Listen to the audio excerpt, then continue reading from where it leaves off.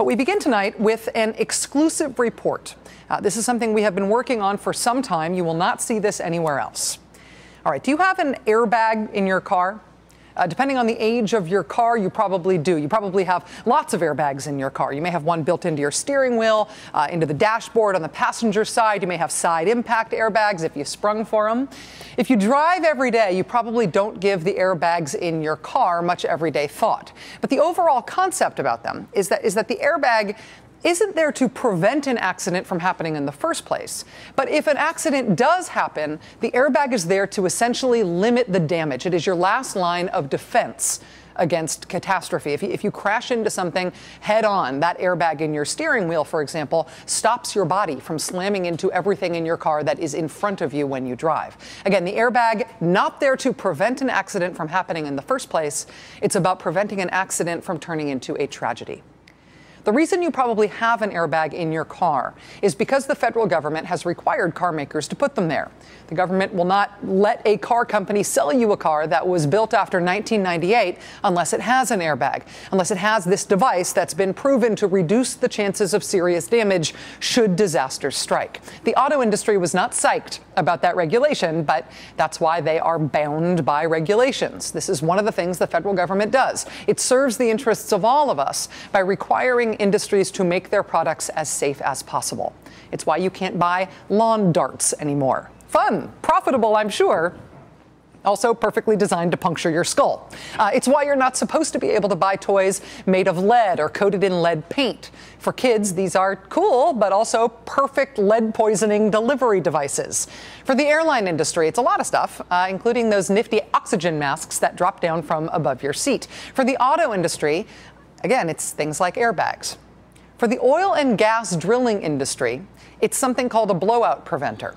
If that sounds familiar to you, it's probably because you remember this image, this image that played out on TV screens across the country like a horror movie advertisement night after night, week after week, all last year. This image of crude oil flowing unabated into the Gulf of Mexico, causing the worst oil spill in U.S. history. That image, we have now learned, was the result of that oil well's proverbial airbag, uh, as it were, not working. It was the result of the blowout preventer on that well not doing its job. What we are able to report tonight exclusively is that that is not just an explanation of what happened in the BP oil spill. It is not even just a scandal about the BP oil spill or about the oil industry. It is a fundamental baseline screw up in this industry that is continuing to put the country at risk right now. The government knows about it. The government could be stopping it, and they appear to be trying to let it slide without explanation. Let me explain. Here's what we have found. The process of exploring for oil is, of course, a dangerous process. Accidents happen. When you're drilling into the Earth's crust, there's all sorts of pressure that builds up below the surface of the Earth. Oil drilling is essentially about controlling that pressure while extracting the oil that you're down there for in the first place, right? But, but sometimes accidents do happen. Sometimes that pressure builds up and builds up and essentially surges up through the drilling pipe. The, the drilling pipe. It's, it, it's a well blowout. That, that's where the blowout preventer is supposed to come in, right? You've had a serious malfunction in the drilling process. Now it is about containing the damage. The car crash has happened. The airbag is deployed.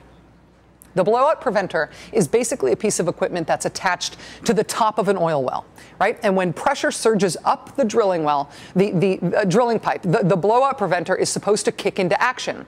It essentially seals up the well and holds all of that pressure in. If the blowout preventer does not work, you get this.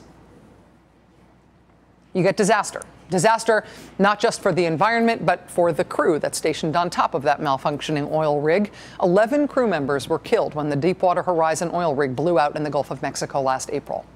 Soon after that explosion and the historic oil spill that followed, it was pretty obvious that the blowout preventer had failed to prevent that blowout. That was pretty clear. But what we know now, what we have learned this week, in fact, is that the blowout preventer in question was not built wrong. It wasn't broken, and it was used as directed. The Coast Guard hired a Norwegian firm to do an expert forensic analysis of what went wrong with that blowout preventer in the BP disaster. I say the Coast Guard, I should say, should oversaw this. The government hired this firm. Uh, the firm set up shop at a, a NASA facility in New Orleans in mid November. Yesterday, they released what they found. What they found is that In our metaphor from earlier, uh, the airbags, uh, in this case, and maybe in every case, don't work. More specifically, they found airbags work unless there's a car crash. Then they don't work. The forensic analysis of what went wrong at the BP disaster found that a big burst of pressure that causes a well blowout can also render the blowout preventer useless. If the shock that causes the initial accident misaligns the rig's pipes and valves, the blowout preventer won't be able to work won't be able to seal off the pipe, even when used as directed, even if you do everything right. Quote, the findings of these studies should be considered and addressed in the design of future blowout preventers and the need for modifying current blowout preventers.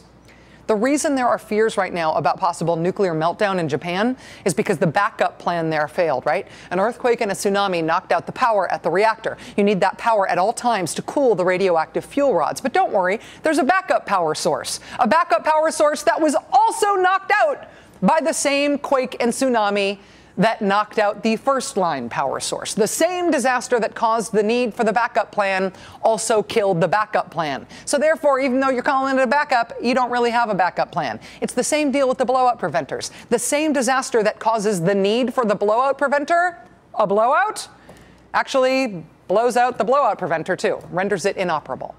So, that means you do not really have a backup plan. You can call it redundancy, you do not have redundancy. And again, it's not because these things are broken, it's because this is the way they are designed. That is the engineering part of this story. Here's the, the politics part of this story and the life and death part of this story, which is worse, frankly. The federal government is now in the process of issuing new permits to drill in the Gulf of Mexico, issuing new permits all of a sudden at a breakneck speed. Today, the Interior Department approved its fifth deepwater drilling permit for the Gulf of Mexico. Not its fifth just since the Deepwater Horizon disaster last April. We're talking about its fifth in the last 25 days. This permit was given to Chevron. It's to drill a well off the coast of Louisiana in nearly 7,000 feet of water. The BP disaster, you'll recall, happened in 5,000 feet of water. This new permit for Chevron follows the Interior Department's decision over the last few weeks to grant drilling permits to Exxon, to Shell, to ATP Oil and Gas, and to Noble Energy. All of those oil companies have now been given the go ahead by our federal government to drill, baby, drill after the moratorium, after the halt in drilling, after the big safety freakout after BP, why are new offshore drilling permits now flying off the shelves? Well, the government says it's because the oil industry is now, quote, complying with rigorous new safety standards implemented in the wake of the Deepwater Horizon explosion. According to the head of the permitting agency, the permits show, these new permits show, that the industry has demonstrated the capability to contain a deep water loss of well control and blowout. This is the same office. This is the same office at the Interior Department that requested and released the investigation that proved that blowout preventers don't work. Now that agency is saying, drill, baby, drill, because the oil industry has proven it can handle a blowout. Same agency. When the Interior Department granted its first new permit since the BP oil disaster last month, we took note on this show that the permit went to Noble Energy.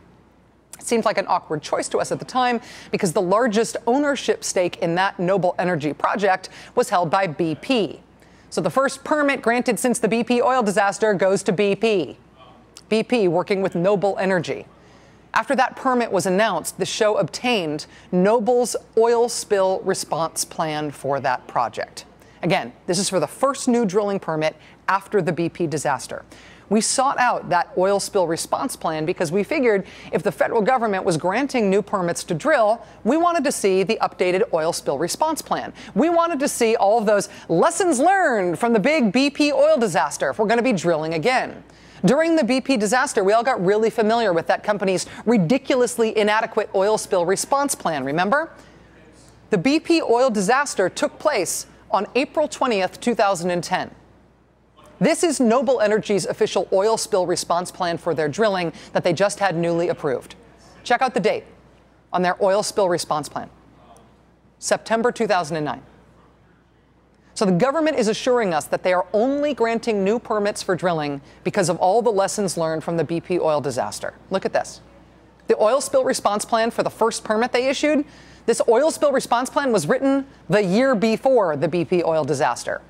So, no lessons learned from the BP oil disaster. No new containment capabilities developed after the BP oil disaster. Same blowout preventer technology that has been singled out as having failed during the BP oil disaster, and that we now know would fail again, even if used as directed. No new nothing as a result of the BP oil disaster, and this permit was approved last month with an oil spill response plan dated seven months before the largest oil spill in U.S. history, with the administration's assurance about all the rigorous new safety standards these companies are going to be following. We contacted the government, we contacted the Department of the Interior after we obtained this document because we thought somebody must have sent us the wrong thing. We thought uh, we must have been sent by accident an old version of this oil response plan. They informed us that, in fact, we do have the most up to date version on hand. They also told us that in general, rig operators are eligible to get new permits while they're in the process of revising any old oil spill response plans. So, what exactly is the permitting process reviewing then? We also asked the Department of the Interior if their permitting requirements might change, given the new report released by their own office that says blowout preventers don't really work, even when they're used as directed. They told us they had no comment on the report. It's part of an ongoing investigation, but they are handing out the permits to drill anyway. This is like convicting Bernie Madoff and then investing his victims' compensation fund in a nice Ponzi scheme. What on earth is the government thinking here? Are you being politically pressured into this with all the talk of higher gas prices? Seriously, what are you thinking here? And how psyched is the oil industry that they think they're going to get away with this, even after the BP disaster?